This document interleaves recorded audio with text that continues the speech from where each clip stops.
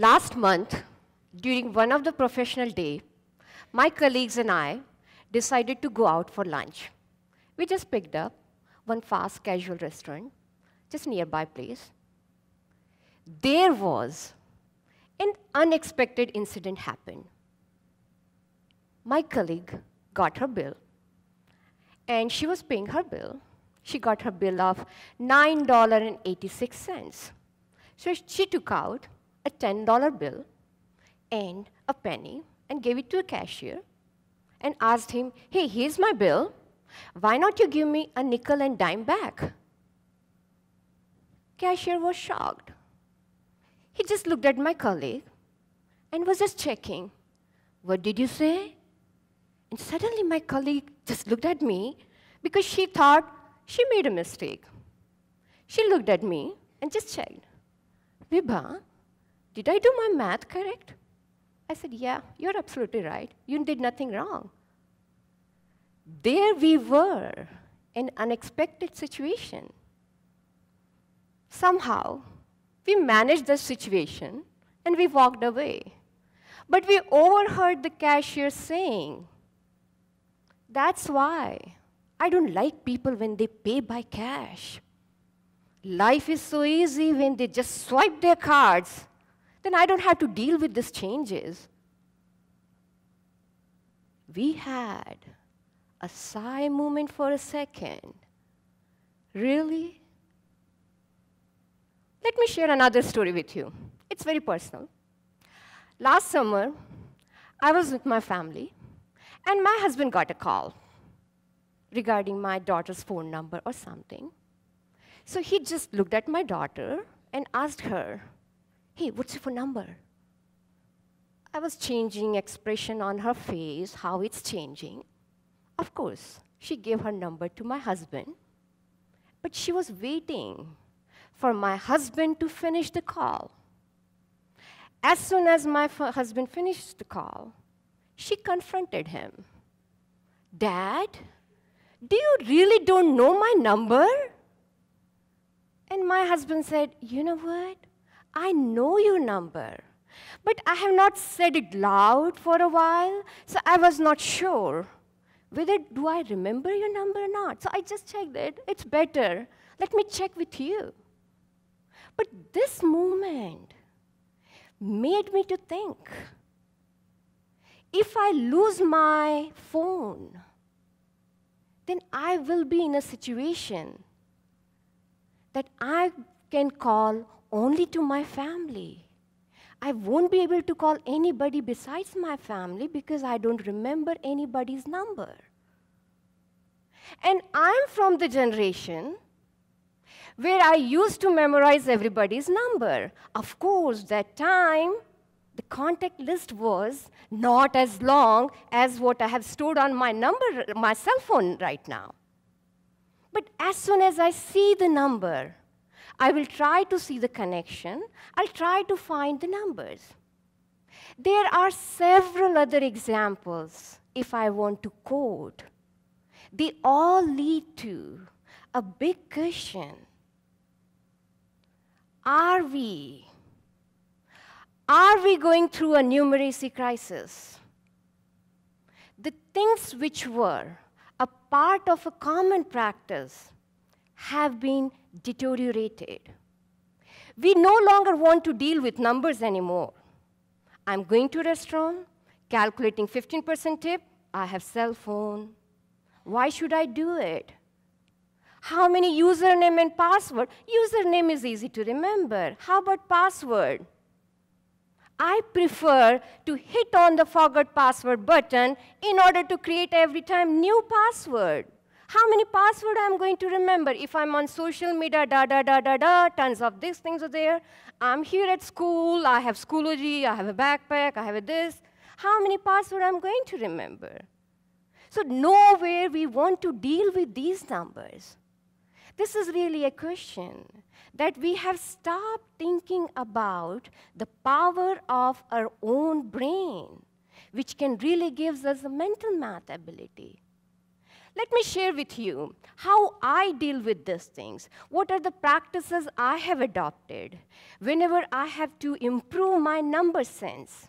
So, whenever I see a number, I try to find a relative location up here in my mind. Here is the number 1 to 100. So, just an example. I take a number 51. So, I try to see where this number 51 is on 1 to 100 this chart up here in my mind. I see it. 51 is right here, 1 up from 59, away from 60. What else I can say about this number 51? Yeah, 51 is an odd number. Anything else? Yeah, 51 is 3 times 17. They both are prime numbers. It's, it's product of two numbers.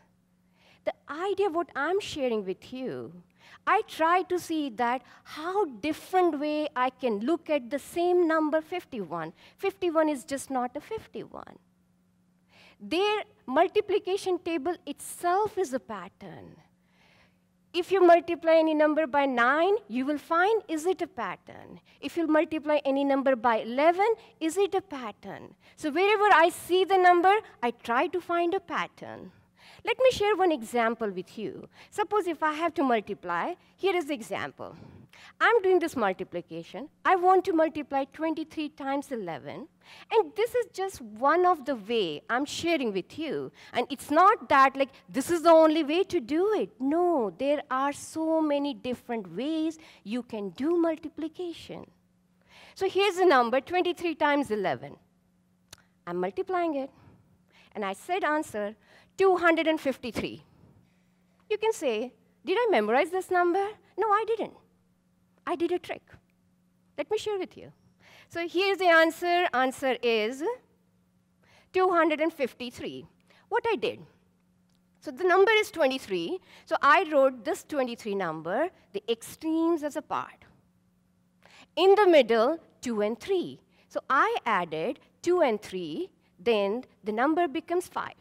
My answer is right here, 253. This is the power of mental math. When we are talking about doing mental math, we are not talking about let's deal with the tons of number in your head. No, no, no. Take it very easy. Let's just deal with the number 1 to 20, if you can handle it. When you get the confidence, here's the number 1 to 20, I can deal in my, in my head in a different, different ways. Move on. Try 20 to 30. This will build your confidence and you will see the power of mental math. Are you ready for another example? Let's see another example. Here's the example I'm sharing with you. I want to find a square of a number ending in 5. 35 squared. It's a big number. Again, answer is, which I have not memorized, is 1,225. What did I do? Ready for the trick? Here you go. Let's see that. So what I did, 35 is the number. Everyone knows the 5 squared is 25. I wrote it 25. Here's the number 3. I added 1 to that number, becomes 4. 4 times 3, easy for me to do calculation, 1,1225. Here is my answer.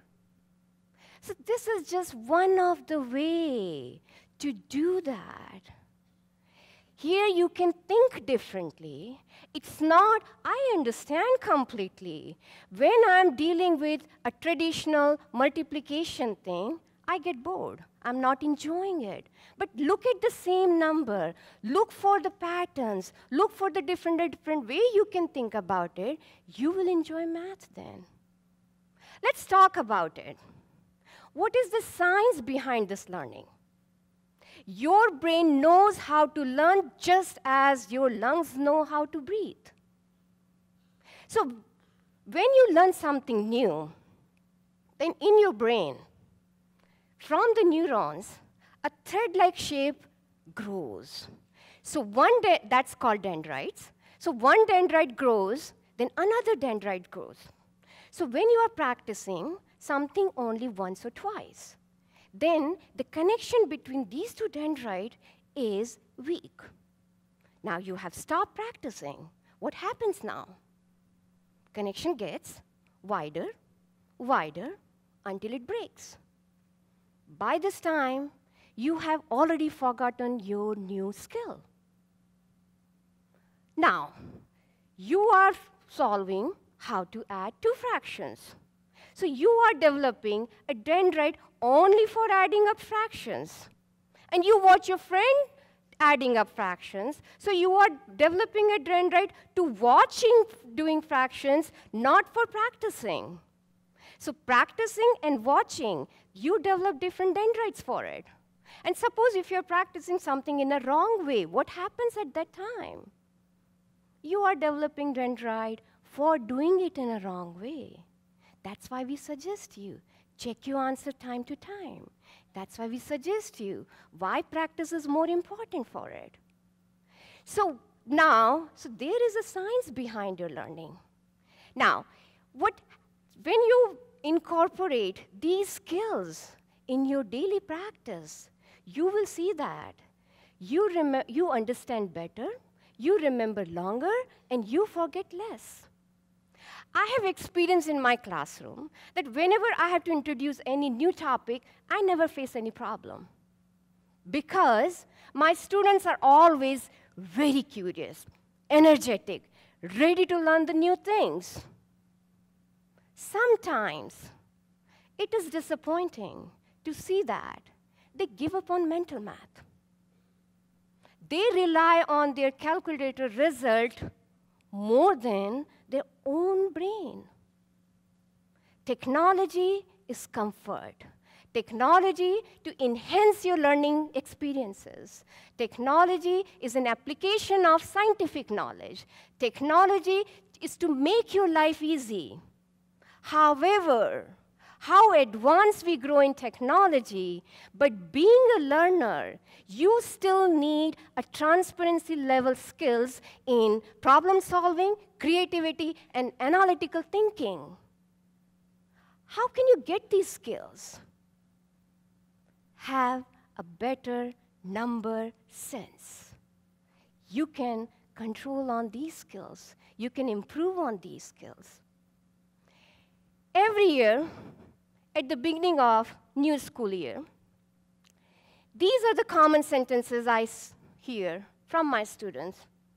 Hey, Miss Singh, telling you, math is not my favorite subject. I don't like math. Math is not fun. I don't enjoy math. Students are full of preconceived notions. Engaging students, those who are already discouraged, is an uphill battle for me. I believe if my students know more about how numbers interact, if my students have more power on mental math, they would have believed in themselves more. By improving your mental math knowledge, by improving your number sense, math can be fun. Mental math, irrelevant of its an application, it's an excellent way to stimulate your own mind. Your left brain focuses on logic, math, theories, and structures. Your right brain focuses on creativity, intuitions, imaginations, and patterns. As soon as you see that numbers interact, you start looking for patterns. You are doing exercise for your left brain, you are doing exercise for your right brain. Your left brain and your right brain, they incorporate with each other in order to produce the best result. Having a better number sense leads us to a new perspective. The choices you make and the actions you take discover the result in life. It's in your control. Are you up for the challenge? That's all from me. Thank you.